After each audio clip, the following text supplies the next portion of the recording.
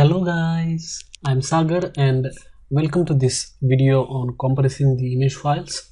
In this particular video, I'm gonna explain you how you can compress large image files into smaller ones and uh, once it is compressed you can easily share those files image files with your friends by sending an email or uploading to the google drive or creating the albums on the facebook google photos etc because uh, with the large files it's very difficult to upload the files because of size especially when the internet speed is very slow.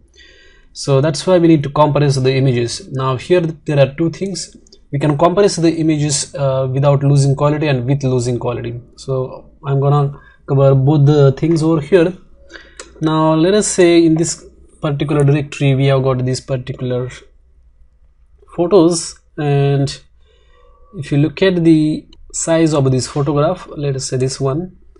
You can see that the size of this uh, photograph is 5.98 MB and uh, let us compress this particular photograph. So for that what you have to do is that you need to open that uh, photograph in the windows picture manager. So go to the open uh, with and here click on microsoft office 2010 or 2016 whatever uh, version you got and uh, then right now you can see only one image but if you want to see multiple images in that directory you can click on this button. And it is showing all the images over there.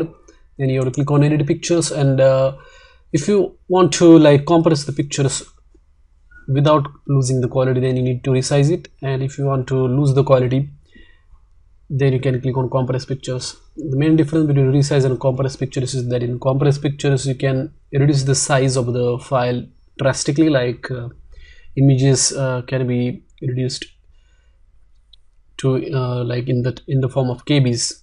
So it's very small size.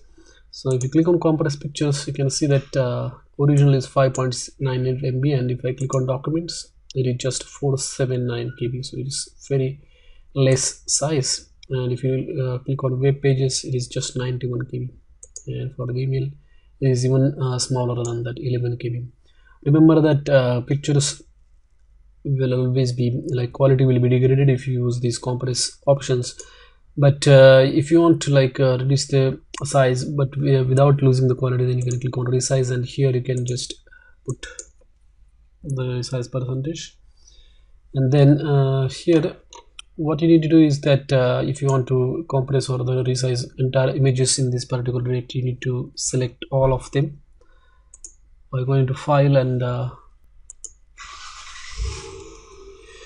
you can use the keyboards arrow keys like that to select all the images and then you can click on ok. So what will happen is that all the images will be compressed and then the size will be reduced drastically as well.